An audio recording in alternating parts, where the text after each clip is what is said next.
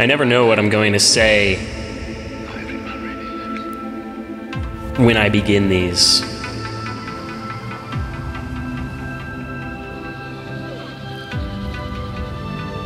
Then again, the greatest sermons that have ever been given on this planet were not planned. They were not written. They came from the moment.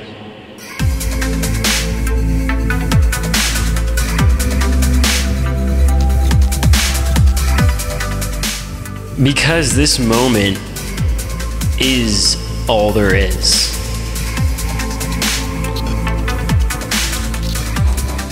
The Spirit ever dwells in the present.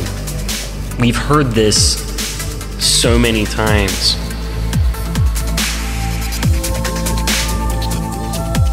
Yet it's so often you find when you go to yoga classes, church, retreats, spiritual dogma is everywhere.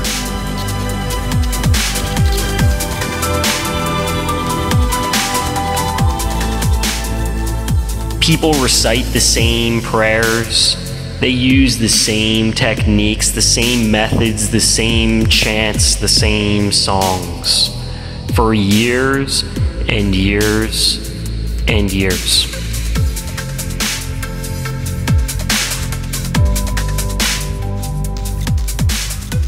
Does the sun rise in the same place every day? Does it set in the same place?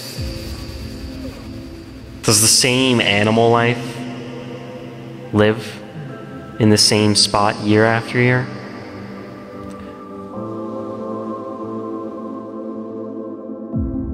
Does the sky look the same today as it did yesterday? So, if we are to accept what the sages have been telling us, that the Spirit dwells in the present, why is it that our methods for spiritual practice becomes so mechanical?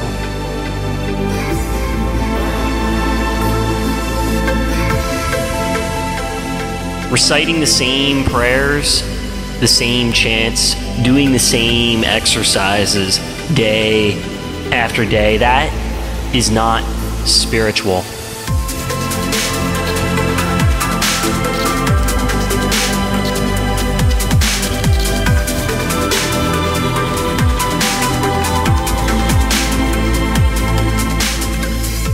And it never was. And that's why we've always needed new masters in this world.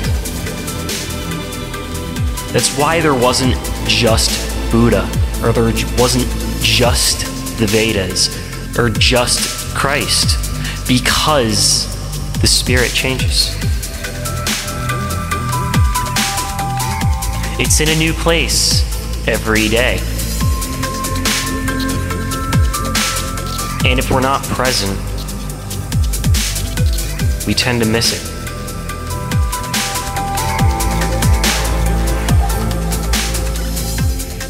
New times call for new methods. Each new day calls for a new method.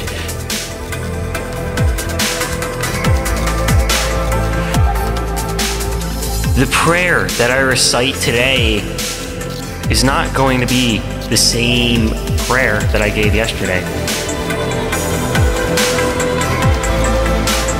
Because if it were, that wouldn't mean I'm actually connected.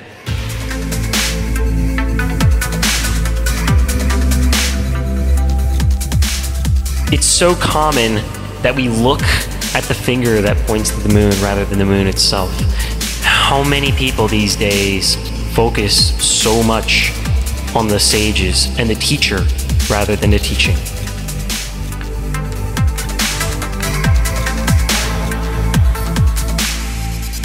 I am the way. He doesn't say, I am the goal, I am the destination, but I am the way. We forget this that they are the way, the road, not the destination.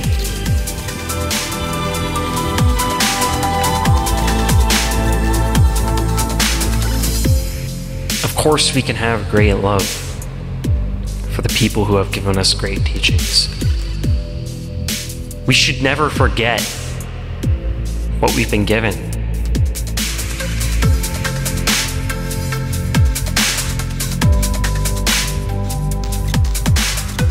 It can be hard to let go, it really can. Because there's so many great teachers.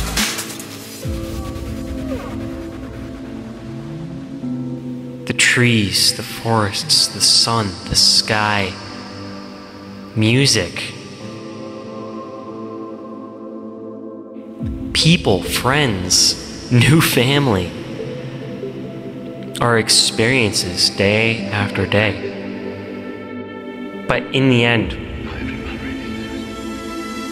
we all must emerge from the womb. We all must learn to stand on our own.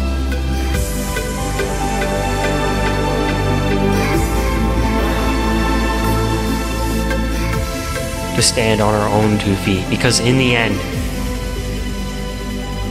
it's a solo journey. It's just us and the Great Spirit, the Great Creator.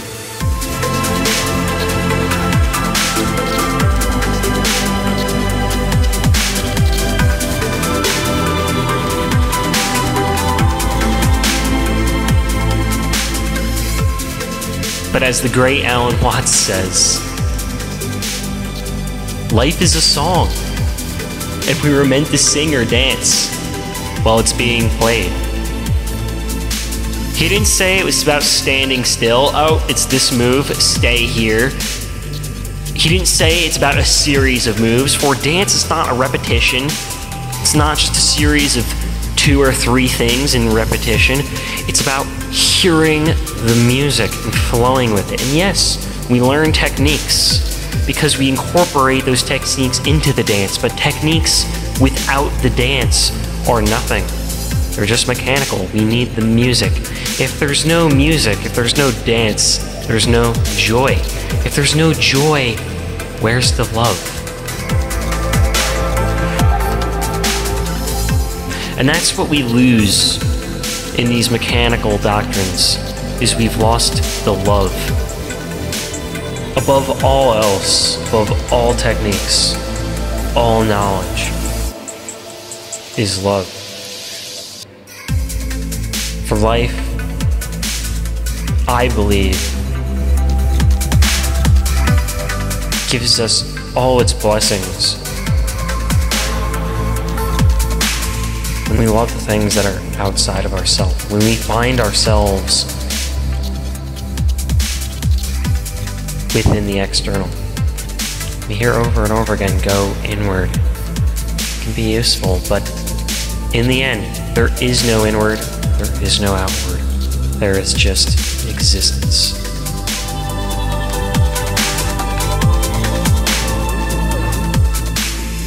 When you feel a sense of connection, a sense of love the life you're living, for the people in your life, knowing that they will one day not exist, recognizing that it's a gift. A gift.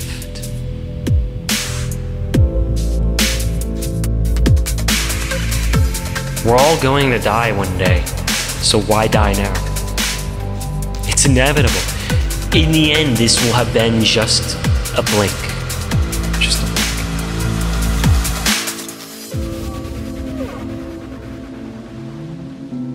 So love your life. I try to love my life. It's not always easy. I can't always feel it. I, I really can't. Some days I'm just not connected, but I don't think we always can be connected. Sometimes we need to go in, sometimes we need to connect to just ourselves. Sometimes we need to just take it back into the moment and be small. And recognize we're just people, just humans. Feel big some days and then really small on some other days. But that's part of the dance. The dance.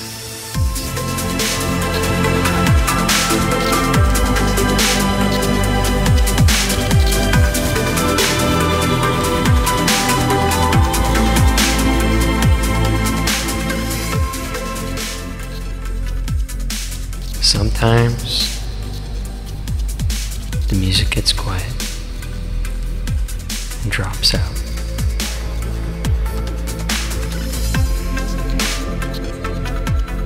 And you're left with just silence. And silence is so much better after a great dance.